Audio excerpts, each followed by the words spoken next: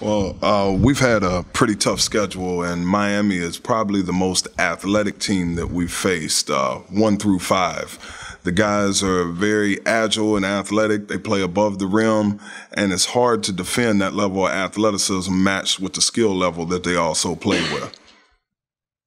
You talked about Bruce Brown for Miami had a triple double in his first career triple double, and an wow. athlete like like you're talking about. Can you talk about his quickness, his shot, just able to distribute the ball? Well, you know, anytime you have a triple double, that's a heck of a night. Um, we were really keyed on Newton and um, Reed and for Brown to come in and uh, put up the numbers that he did, I thought he was very efficient. You have two turnovers in 30 minutes. I thought he found people in their comfort zone uh, with his assist. His rebounding surprised us, you know, going to the glass. But again, it speaks to his level of athleticism and guys finishing plays. You know, I don't think we gave a lot of resistance anytime a team has 36 points in the paint, you got to question, okay, were you in the right defensive positions. And, you know, I believe that their penetration, we were helping up again with their length. They're throwing it over the top for lobs. I thought I can't pronounce number four's last name, but I thought he shot the ball probably the best he shot it all year. And uh, when you throw it out to him and he's knocking down shots, it's a tough guard. And then talk about J.J. Richardson for you guys. Only at one point in the game, didn't hit a single shot before coming off that 25 point, uh, 25 point performance.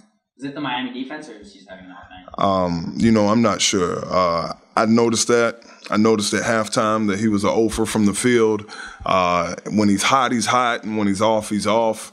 Uh, right now, you know, we need more points for him. I believe he might be our second leading scorer. He had 25 the other night in a non-division one game, but he scored in ways that you think it would translate over to whoever you play. And tonight, you know, he started off bad and – he's a volume guy, and when shots don't go in early, sometimes it can mean you know a bad night for JJ. So he's got to grow from that and uh, just mature as a basketball player, and we expect better things from him down the road. Coach, if you didn't talk about it before, uh, just the first ten minutes or so, I mean, they started off with that. Was the team just hesitant? You know, I have to go back and look at the tape at the beginning, but we identified that if we didn't box out, okay, and we allowed them to get paint touches either off the dribble or passing it into the paint, it can be a long night for us. If I'm remembering right, they did so many things good at the beginning of the game. I believe they had several offensive rebounds and they got second chance points right there at the beginning of the game and it kind of killed our spirit you know, I didn't think eight to nothing would be that big of a mountain. Uh, Miami has let teams back in games this year.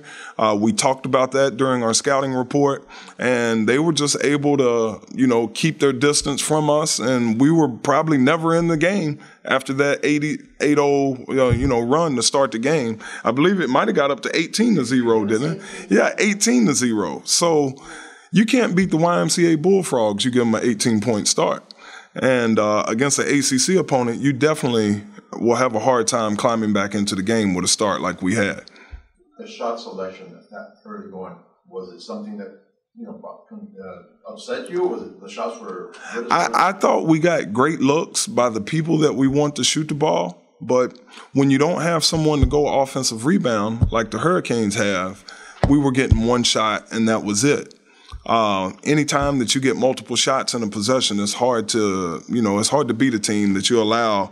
How many offensive rebounds did they have? 13 for the night, uh, and with probably had eight of them in the first half. So it's hard to beat a team when you go this many levels up when you allow second chance points and points in the paint like they had. And I believe that's a big part of the game tonight.